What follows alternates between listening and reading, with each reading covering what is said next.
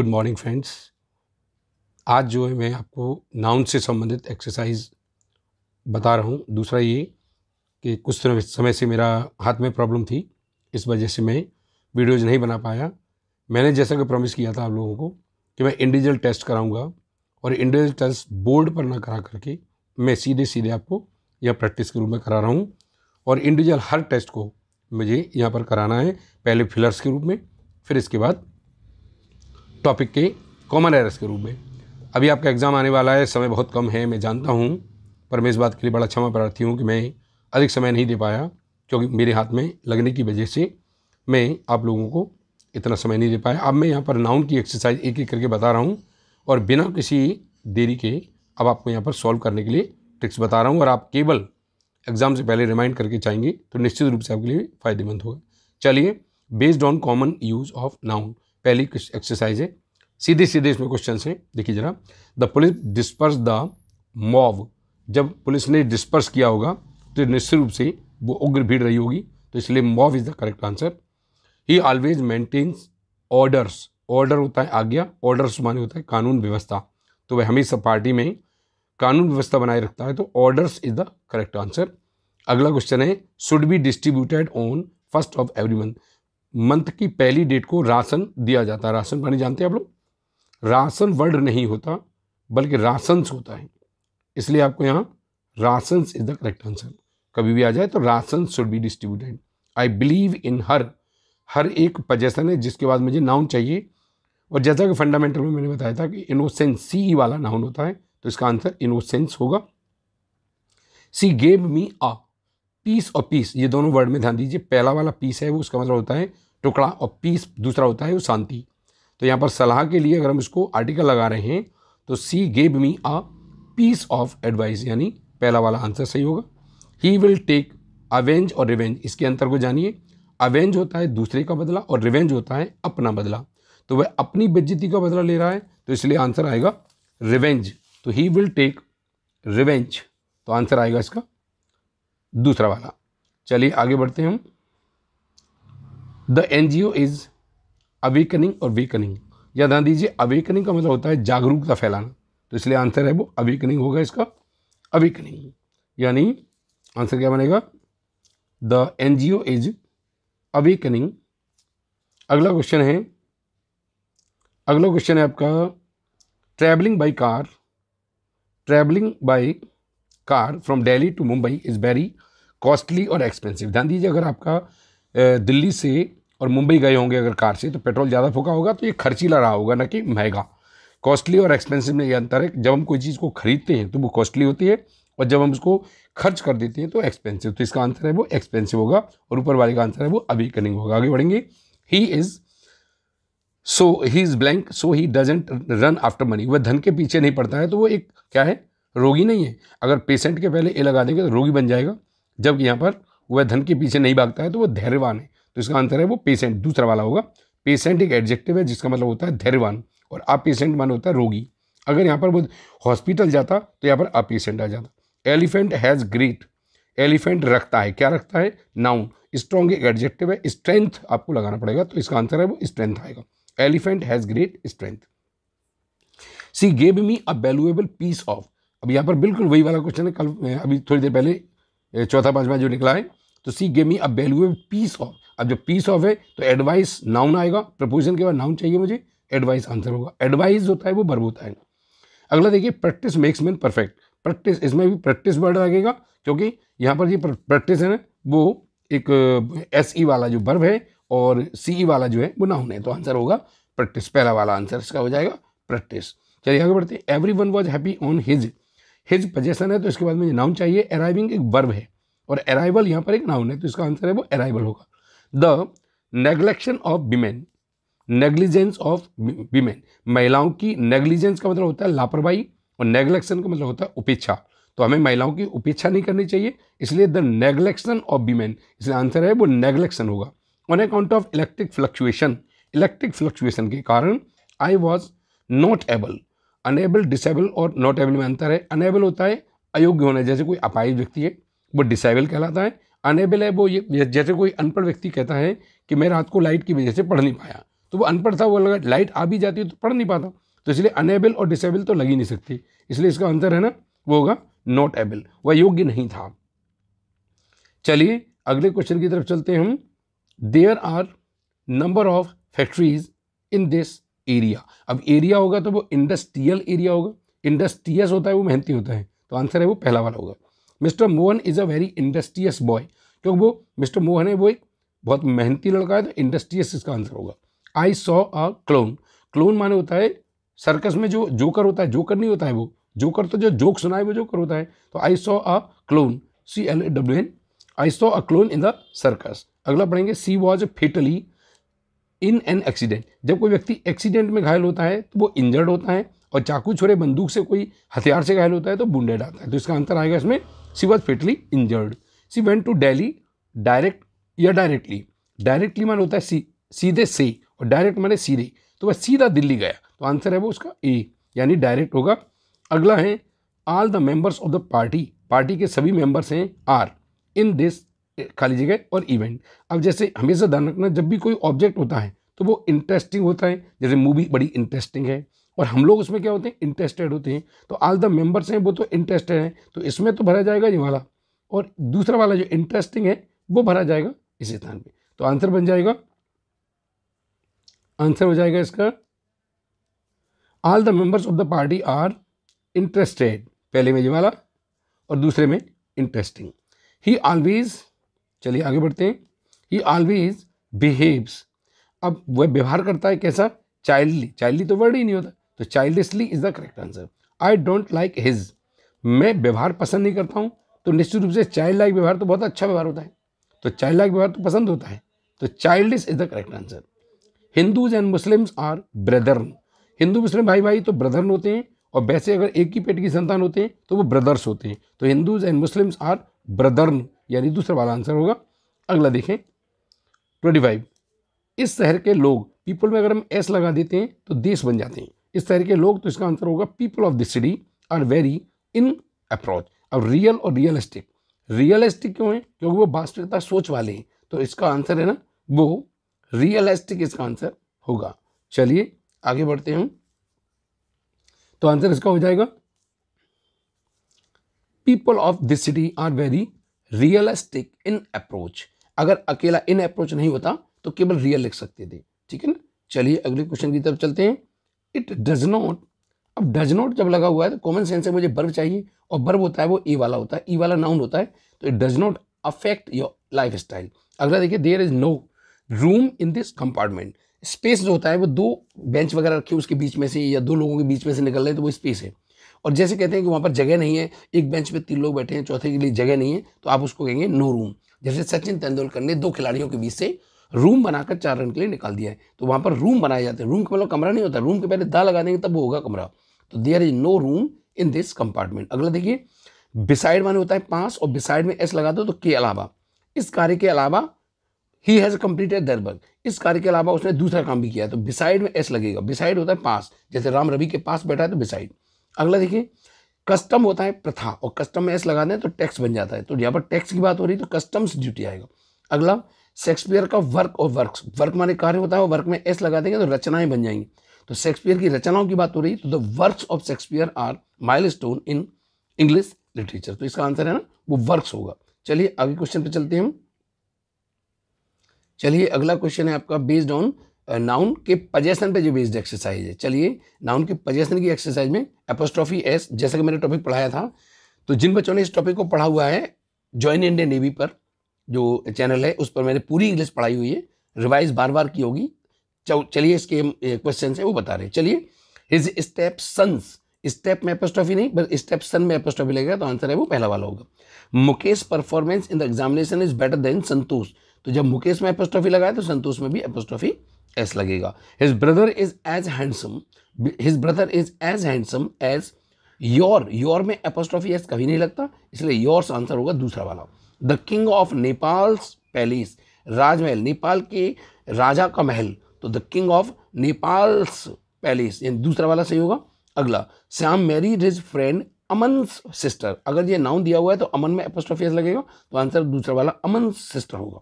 He does not know the earth weight पृथ्वी का वज़न तो अर्थ में एपोस्ट्रॉफी लगाना होगा तो दूसरा वाला आंसर होगा। Mister Prasad Swami at a barber's जैसे यहाँ पर ये अंडरस्टूड होता है कि अगर वो बार्बर की दुकान पर गया है तो यहाँ बार्बर शॉप लिखने की ज़रूरत नहीं, केवल हम बार्बर्स लिख करके ही काम चला सकते हैं यह अंडरस्टूड है कि बार्बर की दुकान पर ही वो गया होगा। चलिए आगे बढ़ते हैं हम। They broke the houses window non living में हम एपोस्ट्रॉफी कभी नहीं लगा सकते, इसलिए ये हो नहीं सकता। The windows of the house यानी दूसरा वाला आंसर होगा। The life of the poor poor एक एडजेक्टिव है एडजेक्टिव में एपोस्ट्रॉफी लगने का कोई मतलब ही नहीं निकलता इसलिए life of the poor answer होगा। अ टन वेट एक टन वज़न अ टन वेट टन में एपोस्ट्रॉफी एस लगेगा। ही फॉलोज माई एडवाइस वह किसी और की एडवाइस नहीं करता है वो मेरी एडवाइस फॉलो करता है। He follows my advice and nobody else अगर मैं नो बडी में अकेला आता तो तुम एल्स ये नहीं होता तो तो सही हो जाता। लेकिन एल्स आ गया है तो हम इसे नहीं लगा सकते। एल्स में एपोस्ट्रॉफी लगाएगा। इसलिए दूसरा वाला आंसर होगा। He follows my advice and nobody else we like we like हम पसंद करते हैं। ईच अदर या वन अदर आ जाए तो ईच अदर अदर में एपोस्ट्रॉफी लगता है तो इसलिए आंसर है वो पहला वाला होगा। Shakespeare wrote many dramas Shakespeare ने कई ड्रामा लिखी बट लेकिन शेक्सपियर के नाटक का नाम ही था लव्स लिबर्स लॉस्ट इसमें डबल एपोस्ट्रॉफी भी मान्य है। इसलिए आंसर है वो पहला वाला। लव्स लिबर्स लॉस्ट आंसर होगा। चलिए क्वेश्चन नंबर फोर्टीन की तरफ़ चलते हैं हम। Question number fourteen the legs of the table या टेबल्स लेग नॉन लिविंग में हम एपोस्ट्रॉफी लगा नहीं सकते, इसलिए लेग ऑफ़ द टेबल आएगा। The legs of the table अगला. Needs repairing building's roof, building में नॉन लिविंग है एपोस्ट्रॉफी नहीं लग सकता the roof of the building आएगा। अगला no I have come to by wits and ये ये इडियम होता है वंस विट्स एंड एक व्यक्ति की बुद्धि चकरा जाना। तो विट में एपोस्ट्रॉफी आएगा, इसलिए विट्स एंड दूसरा वाला सही होगा। There is a boys college लड़के का कॉलेज है। तो एक लड़के का कॉलेज तो हो नहीं सकता तो लड़कों का कॉलेज है। अब बॉय का हम प्लूरल बना देंगे तो फिर हम केवल एपोस्ट्रॉफी रखेंगे एस नहीं लगाएँगे, इसलिए आंसर है वो पहला वाला होगा। Raman is a friend of of के बाद Raja. Raman is a friend of Raja. अगर मैं राजा में एपोस्ट्रॉफी लगा दूँगा तो ये डबल एपोस्ट्रॉफी यानी डबल पोजिशन हो जाएँगे। तो इसलिए ये तो हो ही नहीं सकता। तो आंसर है वो Raja. Raman is a friend of Raja. अगला क्वेश्चन है she studies in saint Joseph यहाँ पर अगर ये अंडरस्टूड है कि वो पढ़ती है तो स्कूल होगा, या लिखने की ज़रूरत नहीं है she studies in saint Joseph school तो जोजफ में हम एपोस्ट्रॉफी एस लगा देंगे, उसी से अंडरस्टूड हो जाएगा कि वो स्कूल है। तो इसलिए आंसर बी होगा। योर जॉब तुम्हारे स्टेप ब्रदर का जॉब स्टेप ब्रदर का का का मतलब फिर पोजिशन आ रहा है तो स्टेप ब्रदर में हम एपोस्ट्रॉफी लगाएँगे तो आंसर दूसरा वाला सही होगा। अगला देखेंगे द शिप्स नेम शिप में नॉन लिविंग नहीं है होने की वजह से एपोस्ट्रॉफी नहीं लगता, लेकिन अगर हम सिप को पर्सोनीफाई कर देते हैं, इसको स्त्रीलिंग मान लेते हैं, यानी इसको ही सी में कन्वर्ट कर देते हैं तो सिप्स नेम हो सकता है। इसलिए ship's name is the correct answer जैसे सूर्य को, चंद्रमा को हम मान लेते हैं, उस प्रकार से सिप को भी फीमेल मानते हैं, और जब हम सिप को फीमेल मानते हैं तो सिप्स नेम हम कर सकते हैं। अगला क्वेश्चन है किसी भी समय के लिए हम एपोस्ट्रॉफी एस लगा सकते हैं तो टुडे में हम एपोस्ट्रॉफी लगा देंगे तो टुडे इज़ न्यूज़ पेपर ये आंसर होगा दूसरा वाला। चलिए, अगर हम आगे की तरफ़ चलते हैं नंबर थर्ड ट्वेंटी थ्री की तरफ़। ट्वेंटी थ्री में देखिए, पहला क्वेश्चन है आपका। पहला क्वेश्चन है आपका डर्टी इज़ डर्टी तो क्या डर्टी है? देखो जरा। द ग्लासेस बॉटम तो ग्लास एक नॉन लिविंग है तो इसमें एपोस्ट्रॉफी लग नहीं सकता तो bottom of the glass answer होगा। अगला देखिए गर्ल्स रूम लड़कियों का रूम एक लड़की का नहीं लड़कियों तो लड़की का प्लल के लिए गर्ल्स लिखेंगे और फिर हम एपोस्ट्रॉफी क्योंकि एस लगने पर हम केवल एपोस्ट्रॉफी लगाते हैं एस नहीं तो आंसर दूसरा होगा। The proprietor accepted the workers demand इसमें बहुत सारे वर्कर की डिमांड की बात हो रही तो इसमें भी वर्कर का प्लल एस लगाएँगे तो हम केवल एपोस्ट्रॉफी लगाएँगे, यानी पहला वाला आंसर होगा। अगला ब्रजवासीज इज़ प्रॉम्प्ट अब ब्रजवासी की दुकान किसकी है? क्या पता किसकी? तो आपको यहाँ पे लिखना पड़ेगा, ब्रजवासी शॉप। अगर ये आगे आ जाता है तो हमें शॉप लिखना पड़ता है। पीछे होता है, जैसे अभी ऊपर बार बार वाला निकला तो उसमें नहीं करना पड़ा। तो यहाँ पर लिखना पड़ेगा Brajwasi shop is prompt in service. तो इसका आंसर है वो पहला वाला होगा। Was a great lover of nature अब जॉन कीस का आपने नाम सुना होगा तो जॉन कीस का नाम ही जॉन कीस है। और कीस होने की वजह से इसका आंसर है ना, वो किस आंसर होगा पहला वाला, है ना? चलिए अगला है आपका, इस डर्टी। इस डर्टी यानी this what well's water non living में एपोस्ट्रॉफी नहीं लगा सकते इसलिए वाटर ऑफ़ दिस बेल यानी दूसरा वाला आंसर सही होगा। अगला they are touching one an other one other में हम एपोस्ट्रॉफी एस लगा सकते हैं, इसलिए दूसरा आंसर सही होगा। इस short the life of everything everything में हम एपोस्ट्रॉफी नहीं लगाते, इसलिए पहला वाला सही होगा। तो इस तरह से आपने देखा नाउन की एक्सरसाइज ये दो एक्सरसाइज मैंने अभी आप कंप्लीट कराई। चलिए एक्सरसाइज नंबर थ्री में चलते हैं। बेस्ड ऑन डिफरेंसेस डिफरेंस पे बेस्ड पर एक्सरसाइज है। चलिए अगली एक्सरसाइज पे चलते हैं हम।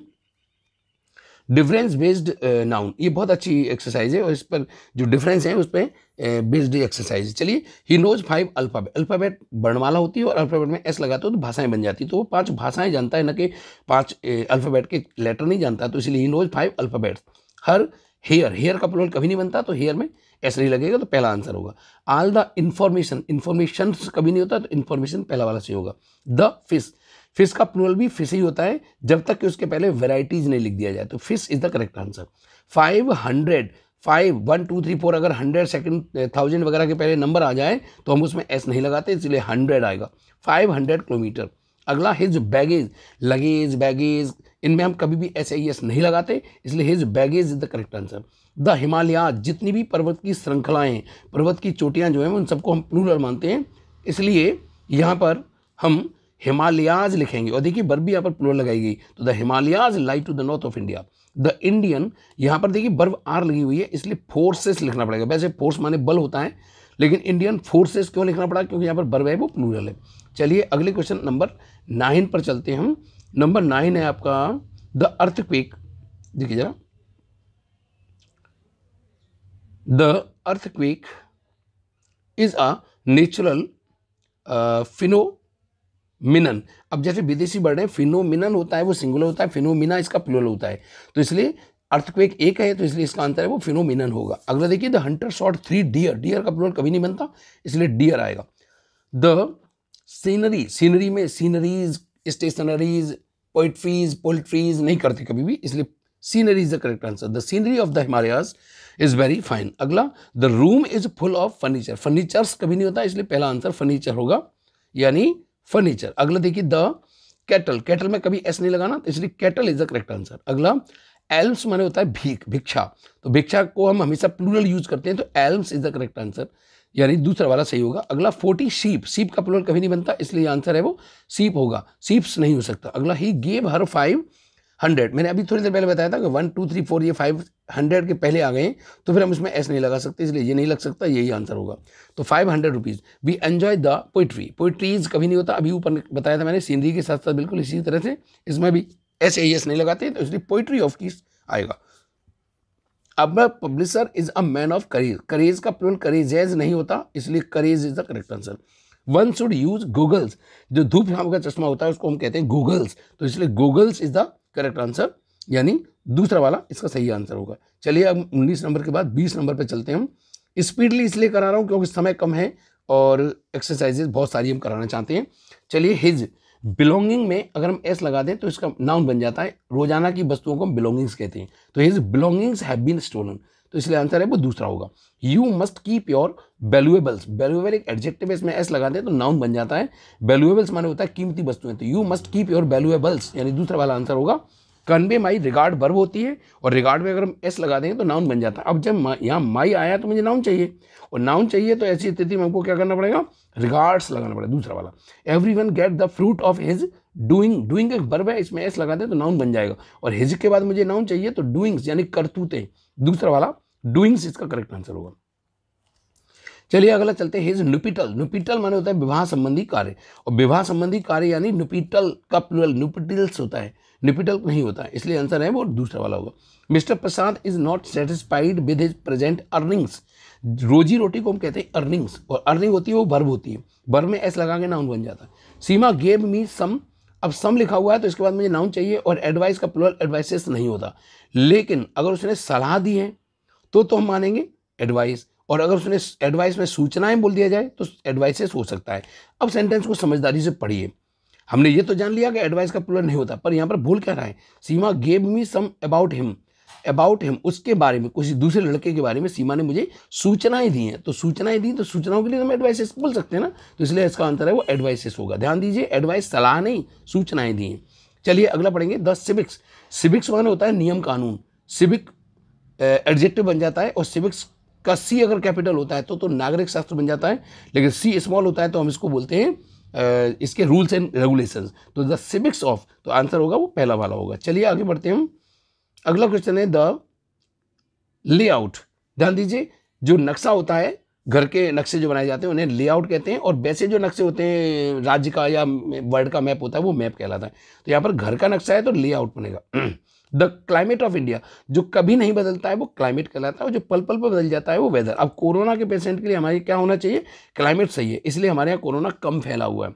इसलिए हम बोलेंगे, बहुत फैला हुआ है, लेकिन और देशों के अपेक्षा कम। या डेथ रेट है वो कम रही है तो द क्लाइमेट ऑफ़ इंडिया तो इसलिए आंसर है वो ए होगा। सी गेट्स सैलरी सैलरी हमेशा ध्यान रखना ब्यूटीफुल होती है हैंडसम सैलरी ब्यूटीफुल सैलरी नहीं होती, हमेशा हैंडसम होती है। तो वास्तविकता में पहले नंबर पे जो सैलरी पर पुरुष का हक होता है, अब महिलाएँ अगर मेहनत करेंगी तो क्यों नहीं पाएँगी? अब आप लोग मेहनत नहीं करेंगे तो कैसे हो जाएगा ऐसा? तो इसलिए आंसर है सी गेट्स हैंडसम सैलरी चलिए अब आगे क्वेश्चन की तरफ़ चलते हैं।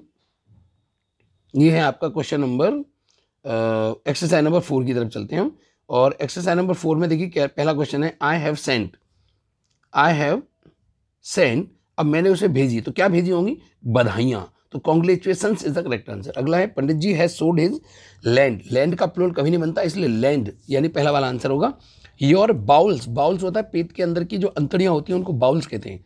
ये बाउल कटोरा वाला नहीं, वो बी ओ डब्ल्यू एल होता है ई नहीं होता उसमें। तो bowls B O W E L S यानी सेकंड वाला आंसर होगा।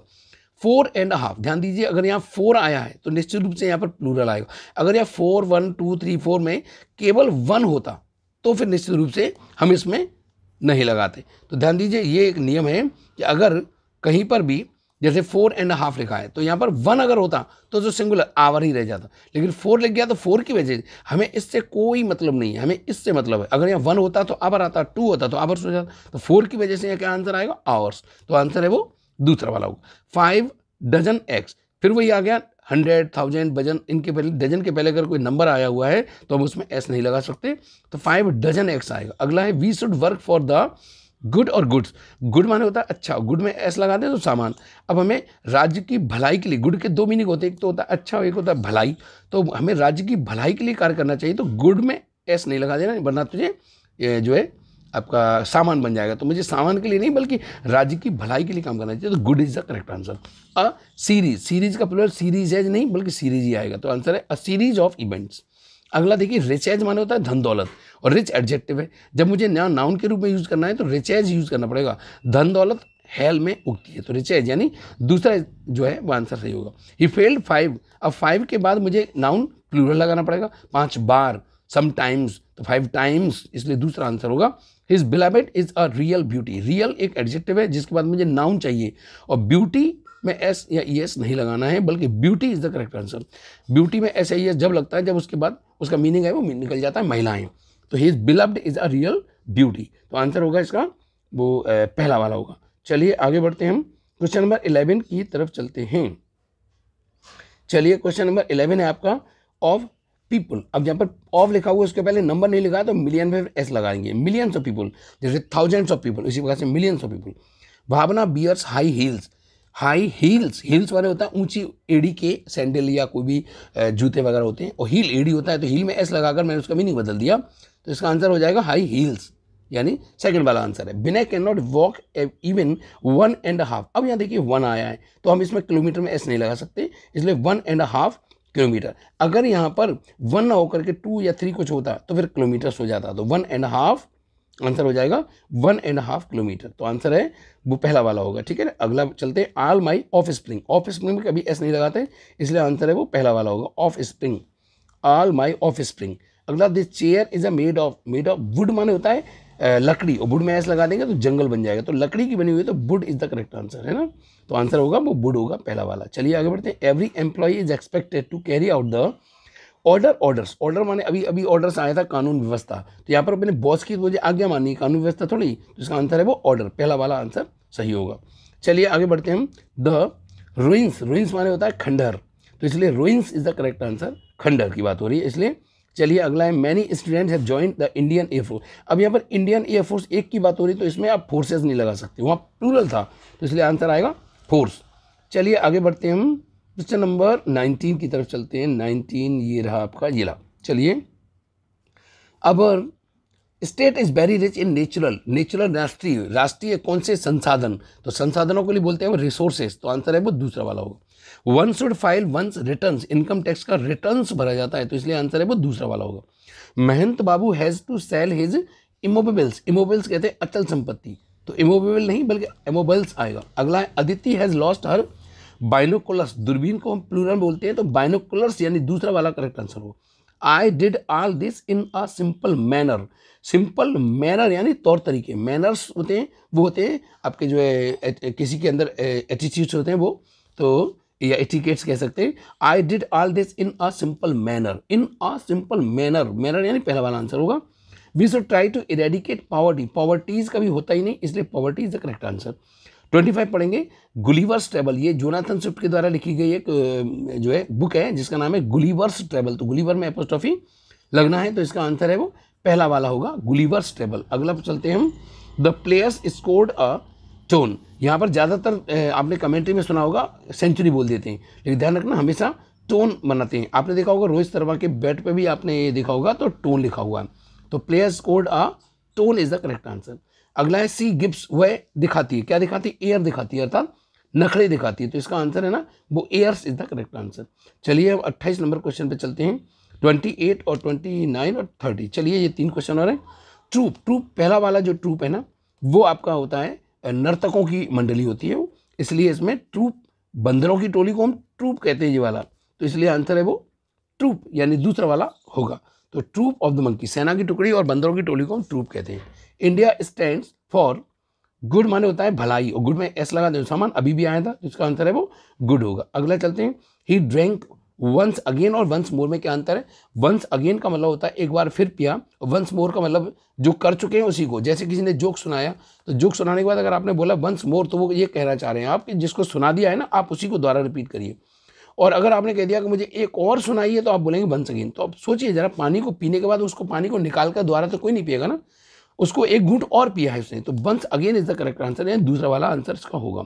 तो आज आपने देखा कि नाउन की मैंने जो चार एक्सरसाइज यहाँ पर मैं कराई हैं अब इसके बाद पाँचवीं और छठी एक्सरसाइज है, वो जब कराऊँगा, जब नाउन के बारे में, पहले मैं इंडिविजुअली अलग अलग टॉपिक वाइज करा रहा हूँ। अब जैसे अभी आज मैं कराऊँगा जो प्रोनाउन वाला टॉपिक कराने वाला हूँ तो पहले मैं नाउन के आज मैंने करा दिए हैं प्रोनाउन में अभी थोड़ी देर में दूसरा वीडियो है, वो डालने वाला हूँ। आज बहुत सारे वीडियो डालूँगा तो आप लोग जो है, इनको पढ़िएगा और डेफिनेटली ये बेनिफिशियल रहेंगे और जो प्रैक्टिस आप लोग कर रहे हैं, वो करते रहिएगा। धन्यवाद।